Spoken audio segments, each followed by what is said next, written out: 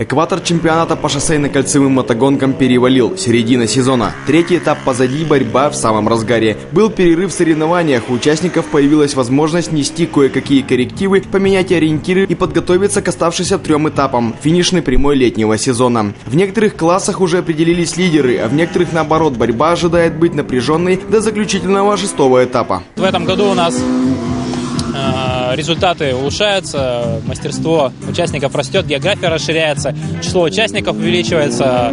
Во всех классах появляются новые быстрые пилоты, то есть у нас прогресс идет э, как личностно, так и технически.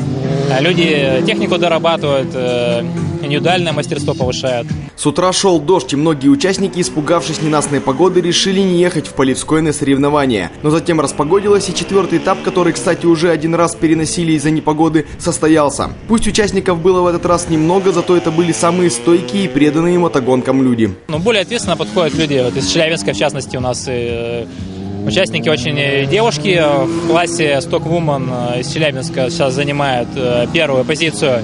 А в классе мини-мото участники из Челябинска занимают первую позицию. А также участник в классе Суперспорт тоже Челябинска тоже на прошлом этапе нас занял первую позицию, но по, в общем зачете в итоге он первым он не является. Поэтому а, челябинские ребята ответственные и очень хороший уровень показывают. Нужно отметить, что в этом сезоне на каждом этапе появляются новые участники, постепенно втягиваются, получают опыт. К примеру, екатеринбурженец Игорь Важенин впервые приехал попробовать свои силы на данных соревнованиях. Просто слышал от друзей, знакомых, что они сюда катаются, любят э, покататься здесь, приехать на соревнования. А, просто любительски тоже катаются. Вот. И я решил просто с ними попробовать. Но сегодня они, к сожалению, не приехали. Мотоциклы у них сломаны. А погода немножко напугала, даже думал сначала не ехать, но потом как бы приехали сюда и вижу, не зря. Замечательная трасса. Первый раз на такой катаюсь и вообще на, на подобных, так сказать, на подобной резине, на подобном мотоцикле мотоцикле. А, очень непривычно. А вот, например, другой представитель столицы Среднего Урала, десантник Юрий Дронов, уже четвертый год не пропускает шоссейно-кольцевые мотогонки в Полевском. Вспоминает, что начинал с класса Суперстрит, а теперь выступает в суперспорте и мини-мото. В этот раз участию Юрия в соревнованиях не помешал даже профессиональный праздник День ВДВ. С каждым годом я э, чувствую э, уже, что уровень у меня уже более выше, чем э, на начальном. В 2012 году мой первый этап э, был здесь. Мы приехали с ребятами просто покататься. А тут проходит этап, нам сказали, давайте это, заявляйтесь. Вот.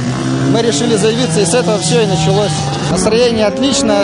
Единственная погода с утра подвела, ждали, надеялись. Но и не подвела погода. Все-таки погода несла свои коррективы. Но лучше поздно, чем никогда.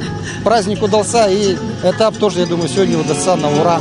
Впереди еще два этапа чемпионата Свердловской области по шоссейно-кольцевым мотогонкам. И борьба ожидает быть напряженной в каждом из них. А чем она закончится, мы обязательно расскажем в следующих выпусках.